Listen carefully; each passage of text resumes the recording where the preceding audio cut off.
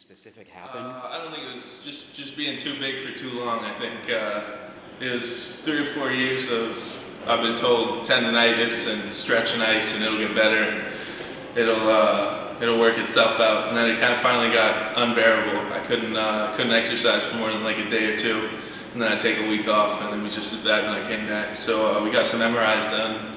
And it turned out there were 30 to 40 percent tears in both uh, patellar tendons. And the doctor said if I could get through this season, then uh, then I'd be alright to play, and we can do, do the surgery afterwards. But I couldn't uh, I couldn't have made it through a week of practice. So we went with the surgery. The first one was August 31st. The second one scheduled for sometime in uh, in December.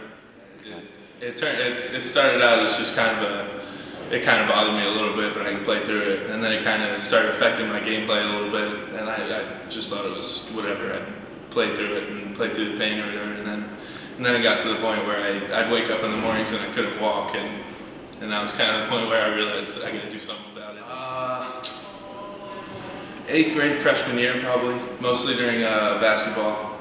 I think that's that's really what killed me was the wood floors and the running and jumping, change of direction with that stuff. But uh, yeah, I got a big body, it gets thrown around, and I don't think my knees could handle it. Uh, the uh, the offers I have right now, they stand. The only reason they would get uh, revoked would be trouble with grades or trouble outside of school, like legal stuff and that kind of thing. So uh, looks like I'm all set there, but um, doesn't look like I'm getting any new ones anytime soon. So I'm happy with what I got though. I'm proud of myself. This summer I did a lot of hard work. Uh, it feels great. I know they have uh, they have a lot of confidence in me, and I really appreciate that.